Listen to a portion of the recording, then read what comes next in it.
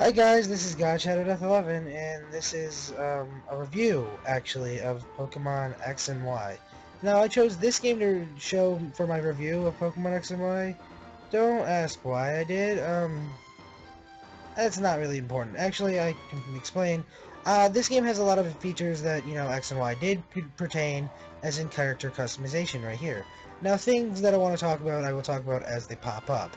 Um, here's the hairstyle. I will start with the hairstyle I set as my character when I played Pokemon X and Y, which was the blonde hairstyle. Um, I don't know what hairstyle. You can see in this you have a little bit more creation here. In the game you have very limited, so I'm gonna go to yeah, uh, medium spiky with blonde. This is you're limited to sort things in the game, so I'm gonna limit myself to it too. Now, um, the character creation is actually pretty good in Pokemon X and Y. However, I didn't like the... I didn't like certain things. Uh, the, the it was just clothing customization. It wasn't really much of a character creation. Now, before we continue on further, I want to make a big thing saying spoiler warning. This does have contained every bit of the spoilers that I can. Um, reason why because it was Pokemon X and Y and I've recently beat it. Now, the editing did allow you to edit your tops to different colors and those things, so I'm just going to go with black here and set it as the color. Uh, and here I'm going to do... I'm just going to do blue, actually. I'm going to do black for the shoes and then blue everything else, because um, uh, that's what you start off with in the game, so... You start off with these blue clothes, really dark, dark blue clothes and black pants. So there's what you're doing, and I don't know, default dice there. Uh, so yeah, you start off like stuff like that. You get your character name up, which I'm gonna just name.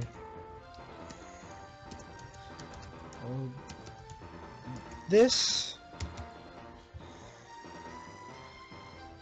And my rival's name is gonna be what my name was in the game. So create character. Oh. No numbers? Okay, well, and then you get to see my other character, which I don't care. Uh, there, and you see here. Uh, another thing I like to start off, when you start off in your room, you have this big open space, and you go to talk to some, you go and click the mirror, and you're changed. However, when you go down here to talk to your mom, you were originally in pajamas. Your mom would tell you to go back upstairs and change into your new clothes. And then she gives you an extra pair of clothes, and you're out on your way. You meet the neighbor kids, and the neighbor kids want you to, uh, you know, they want you to go and see like they you're chosen because your mother was famous and everything. And I thought it was cool and a famous mother. You didn't have this. Like this. This is a big thing that set me off in Pokemon that you always had to wait for the professor to come see you. Professor actually didn't even want to see you. He just wanted to give you his Pokemon.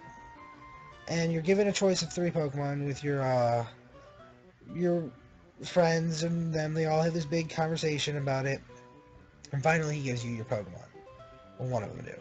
And then your rival, she chooses the other Pokemon that's offensive to yours and everything.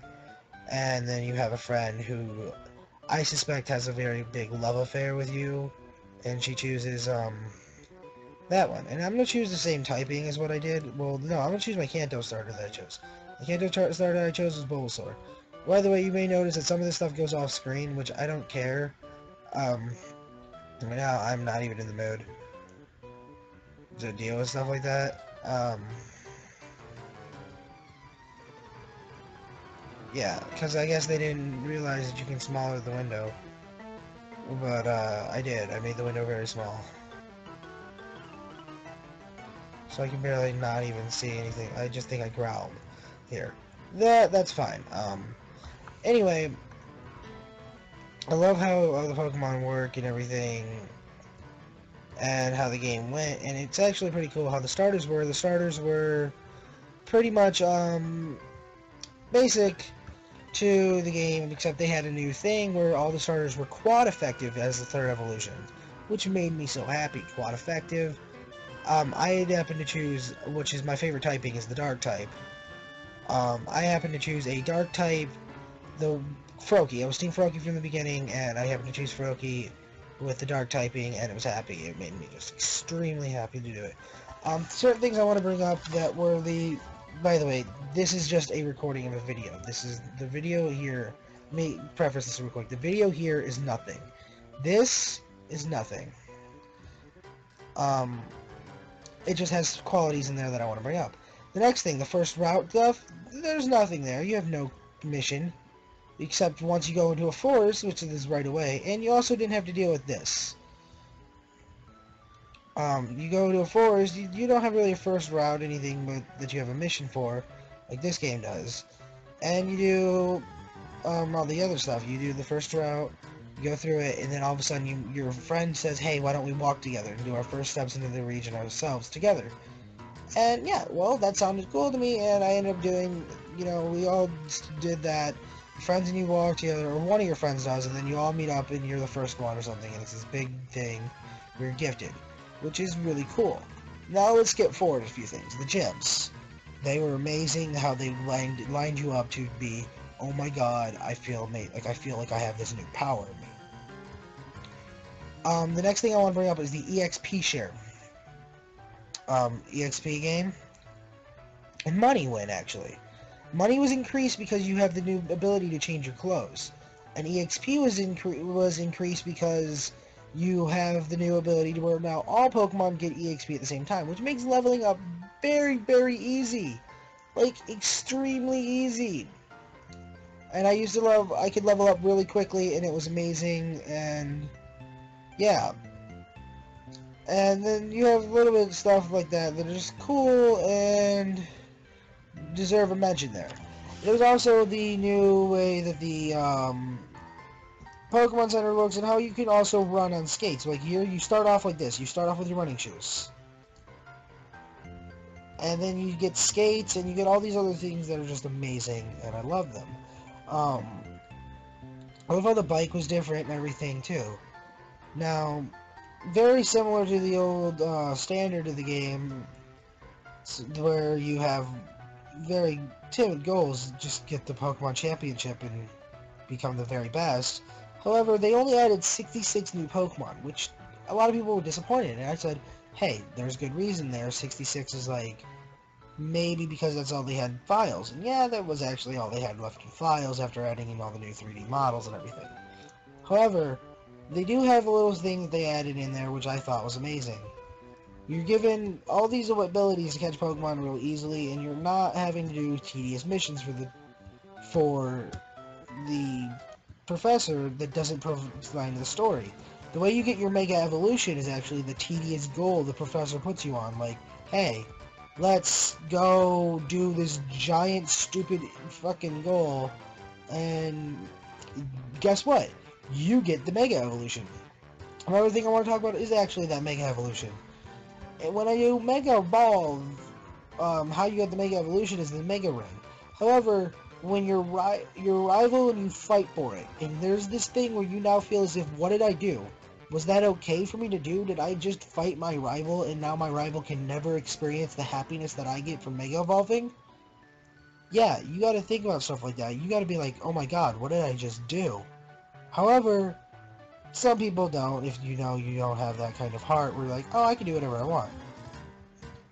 Um, that's fine. For me, it was like, hey, oh my god, I have to, you know, I got Mega Evolve, oh yay. But wait, my rival didn't get Mega Evolve. Aww, why didn't she? Well, later on you find out your rival does get Mega Evolve, that's another spoiler there. Um, so all this stuff like that. You get all these Mega Evolutions, you get all these cool things, and a lot of the best stuff you get is post-game, which is amazing, because I didn't want to really be focused on it. Like, I wanted, I didn't want to focus on anything, and I didn't want to just sit there and try to challenge myself to get all the Mega Evolutions and Mega Pokemon, because I had to beat the game still. Um, but eventually I did beat the game, and the and you find out Mega Evolution is not as rare as you used to think it was. Uh, when you're first playing Mega Evolution, oh my god, it's so rare, he only has one. No. Suddenly the bad guy has a Mega Ring, and then the the champion has a Mega Ring, and now your rival has a Mega Ring. And I think even Sycamore has a Mega Ring. It's like all of these big names in the game get the Mega Ring. It's like, yo, what happened to me being the only one? And then you have a gym leader who has it, but that was the other Mega Ring that the guy had. so it made sense. Um, but you get really pretty gifted pretty easily in the game, and it's, it moves along pretty quickly.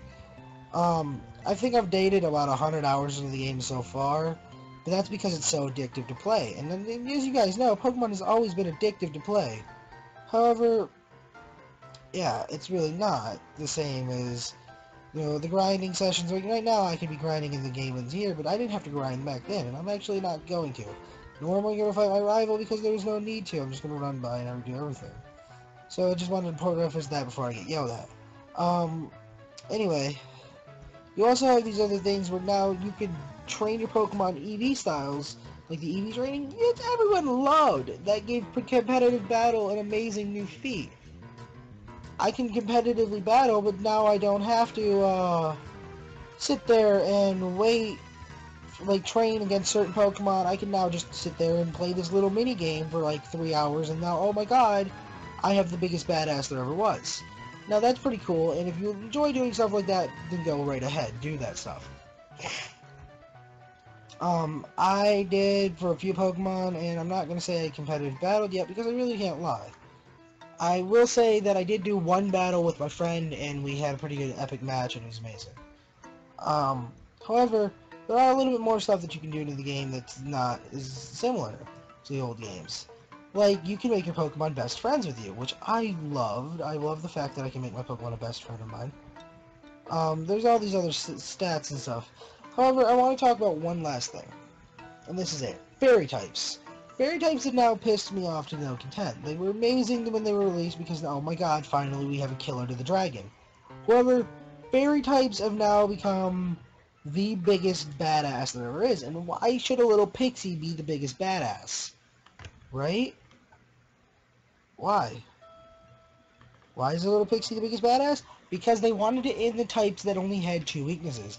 However, the morons at Game Freak, yes I'm going to say this too, the morons at Game Freak ended up saying, hey, screw that shit, let's make a Pokemon with only two, um, with only two weaknesses as the killer of all their Pokemon.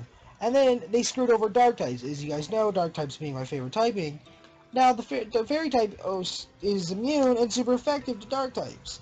So if there happen to be a Fairy fighting, which I don't know if there is, and if there is, I'm going to fucking give up Pokemon. I didn't check the types of all the Pokemon, but if they go to the next gen, if they do make a next gen, they make a Fairy fighting, I'm done. Because that Pokemon would one-hit KO any, um, any Dark type. And now, yeah, you guys are probably thinking, well, what about the Ghost Dark? Those are mainly su amazingly super effective against um, everything. Well, no, they're not. They're mainly super effective against the Psychic types for the reason of it makes a little bit of sense there. And I don't even agree to the two Ghost Dark Pokemon there are, but there's so many Fairy type Pokemon. And yeah, I know there's a lot of Dark types too. But these Dark types have at least something in there to make them, like, weak to whatever it is that, you know, hitting them, but hey, who am I to judge? Um, I'm here, this was my uh, 13 minute review of Pokemon X and Y. I give Pokemon X and Y though. Out of any game, I'm very strict with my ratings um, on games, and I usually do them out of 5, which, again, it's more strict there. I'm giving Pokemon X and Y a 4 out of 5. This is no nostalgia base or anything. The reason why it loses value to me is because they wanted to be too much like the original generation that they actually messed up some of the great details in between. And the fairy type. The fairy type ruins it a little bit for me too. How the fairy type became an uber effective just god killer and now nothing can beat fairies. You just gotta get a steel or a poison which are very rare types. They're not the most common type in the game and they aren't even in the new games either. They're not very common to get a steel typing or a poison type. However, even poison type moves and steel type moves, if you didn't know, there are not that many Pokemon that can learn them either. So there's my little rant and review of Pokemon X and Y. If you guys enjoyed, leave a like and comment. Um, subscribe if you want to see more stuff like this. I do reviews, and I'm going to be doing some Pokemon Let's Plays. I know I said I wasn't going to do them again. I'm not going to be Let's Playing Pokemon Y, however you guys are probably like, oh, you little dick. Well, I don't have a DS that has that type of recorder. I happen to have a regular 3DS, and I'm going to use Visual Boy Advance to emulate um, some Fire Red or Leaf Green, and then I'm going to use DeSmuME for Heart Gold, and I'm going to do a Heart Gold Let's Play is going to be my next, my beginning Let's Play to when I come back, so expect to see that later on. Um, okay, so guys, that was a good, that was my review on Pokemon X and Y. The game the copy that I happen to have gotten was Pokemon Y.